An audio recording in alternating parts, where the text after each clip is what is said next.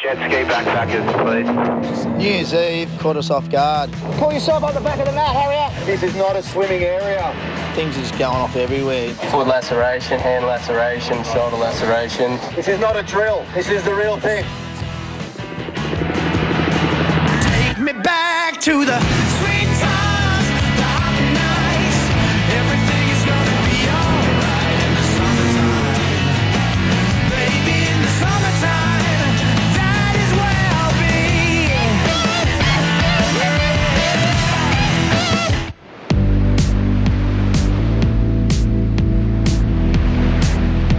Year's Eve, last day of the year. You know, it's been traditionally quiet down here. Most people aren't thinking about coming to the beach. They've got other agendas. Everyone's stacking the fridges, and getting ready for the big night down here or wherever they're going to go. So it's usually quiet for us guys down here at Bondi. But uh, not this time.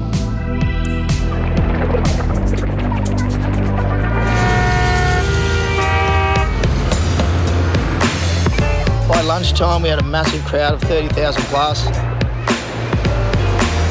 was one of the busiest New Year's Eves we've had in years. The swell jacked up really quick and it kind of caught us all by surprise. Star Bondi Central. I've got a few kooks right in front of the bergs. Uh, might have to go for a paddle. Yeah, copy that, Chavo. Surfers have a lot of unique words. Kook's one of the um, the ones that we use for beginner surfers. It's the ones that kind of get in your way and have been doing it for a while and they're arrogant and they're rude and they can't surf, but they think they can. Just keep coming this way. Here, the increase in swell is really the most dangerous thing that we can get. I think people mistake this beach for a little bit of a playground sometimes. When the swell's up, six foot, people don't seem to differentiate that from two foot and they can get smashed.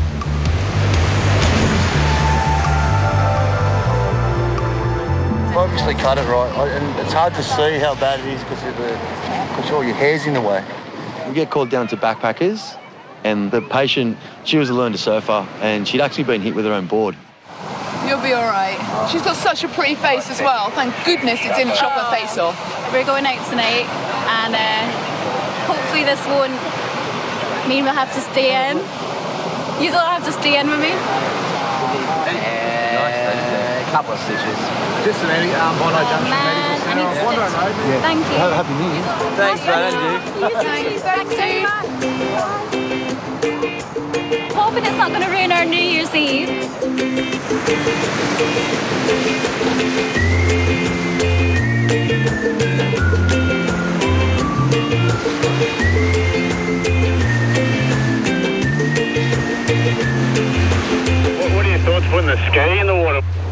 Sure, especially if we get a few more bad surfers out off the back of the rocks too. The jet ski is just so versatile in big surf. It gets to places that us as lifeguards with buggies just can't get to in the water. When it's a busy day and it's hot, it literally does the work of four lifeguards. Guys, I've got a couple in uh, South Corner here that I'm going to have to pull in. Yeah, copy that, Reedy. Just over the last half hour, it's getting worse. It's starting to pull really badly off the middle set of flags. And now South Corner was just a bit of a nightmare as well. So it's going to be a pretty busy hour, I reckon. Come on, mate.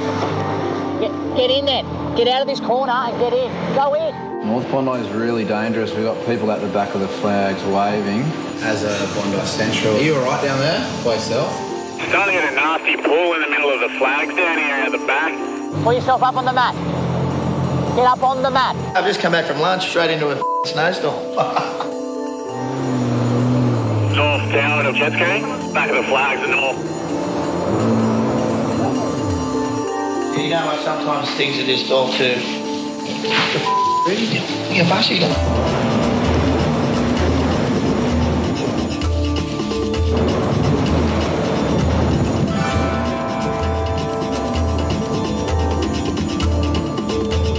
As I arrive, I sort of see two guys and they're holding this other guy up and he looks like he's in a really awkward position and I'm like, Dislocated my shoulder.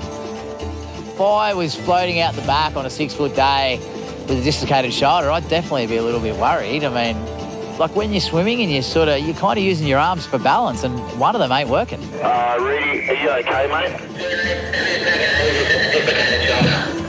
Okay, mate.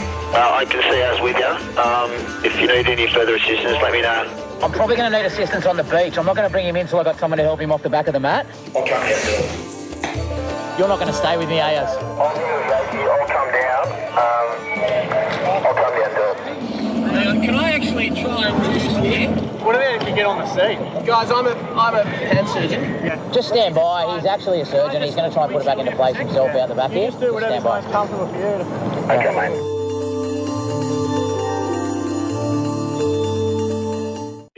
Need any further assistance, let me know. I'm probably going to need assistance on the beach. I'm not going to bring him in until I've got someone to help him off the back of the mat. I'll come down to it. I'm a hand surgeon. Just stand by. He's actually a surgeon. He's going to try and put it back into place himself out the back here. Just stand by. The guy's trying for some, I don't know what reason, try to put his shoulder back in himself.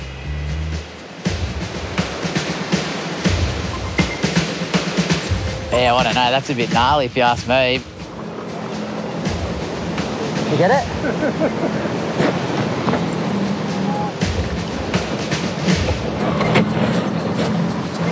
Well, he's had a few cracks at it, unsuccessful.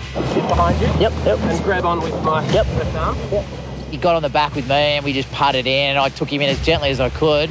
Uh, jet ski to Az, mate. I'm going to bring him in right in front of you. I don't know if you can hear me yet, but uh, just right in front of you now. You can give him a hand off the back. Yeah, I'm watching this guy get brought in by the ski with a dislocated shoulder, and you know, I just couldn't even imagine the kind of pain he'd be in right now trying to hang on.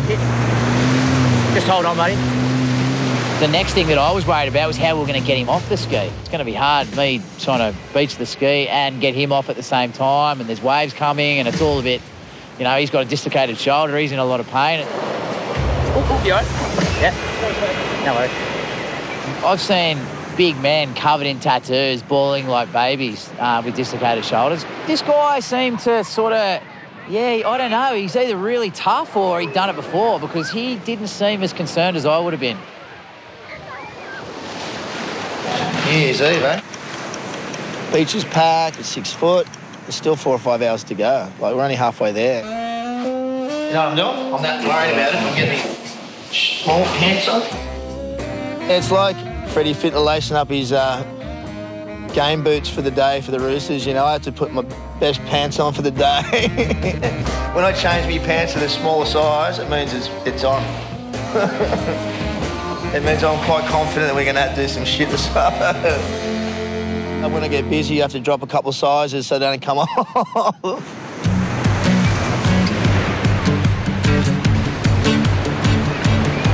it's two o'clock. I'm on the jet ski. Yeah, we're busy as, and these geniuses decide to jump off flat rock in an inflatable pool. For what reason, I have no idea. You just want to take a run up north end. There's a boat that's just capsized. Two guys sort of trying to paddle it, just check if they're right. Just off flat rock. Copy, mate, on my way. They've got back into it now. The box is going to go over there and have a look. It's a decent swell for it. You all right? If you go to that corner, you'll end up out there. You want to go that way? You all right? Box was on the jet ski. We got him to go and have a look just in case they couldn't get in because they were out at Ben Buckler. And they'd waved him away and just said, oh, look, don't worry about us. We're fine. We're all good. You know, we'll get ourselves in. They're right in the impact zone nearly. These guys have just edged their way into the impact zone by themselves. This one will get them.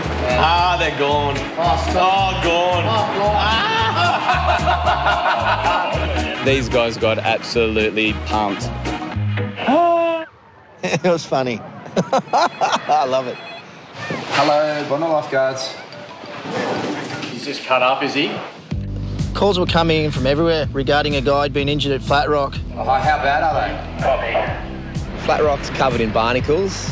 When the surf's six foot, flat rock is extremely dangerous and it's one of the last places you want to be. But when the sun's out, they always go there, every single time.